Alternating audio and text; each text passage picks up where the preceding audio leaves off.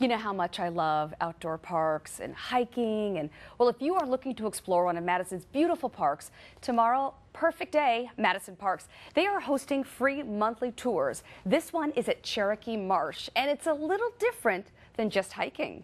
Joining us today with more on this program is Laura Whitmore with Madison Parks. Where's uh, Cherokee Park anyway? Well, Cherokee Marsh, Marsh. It's, on the, it's on the north side of town. It's the largest park we have in the system, and it's it's um, it's the largest wetlands in Dane County as well. And Dane County also has a section of the wetlands. And I don't think a lot of people know that we have 14 conservation parks. What, what is a conservation park? Yeah, so we have 14 different conservation parks and comprising about 1,600 acres. And each of these conservation parks um, is preserving a natural feature that we have in Dane County and have in the city. So that is what this that's what each of our parks feature, something so different. What does it? I'm getting a I'm getting a clue from the pictures on TV here. Uh, now this is a little bit different though. You're offering this one by water. Yes, exactly. So we've had these tours going throughout the, um, be they began in April, and we call it Exploring Madison's Wild Side.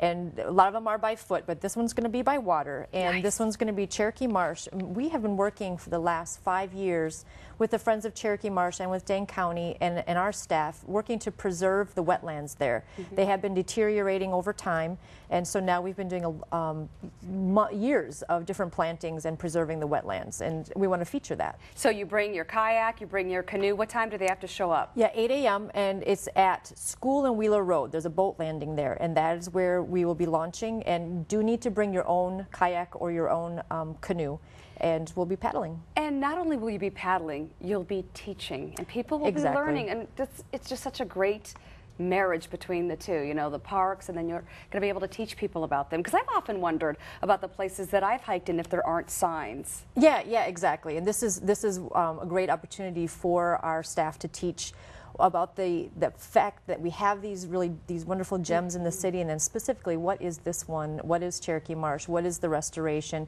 why was it needed and we anticipate the tour to be two to three hours. People can leave if they need to, obviously. Right. You can I was go back. that because what if somebody wants to also go to the farmer's market, for example? Exactly. You know, they could do that and then head on downtown. Mm -hmm. So what a perfect way to get up, start the day. Yeah. You know? Yeah, it's wonderful. I and know. It's in perfect weather. So. I know there's just so much to Dane County in this area that you just got to get out and try. Mm -hmm. Here's a perfect way. Free. Yep, exactly. Thank you so much. Yeah, thank you. Enjoy it and uh, teach away. Yeah, thanks. Have a good weekend.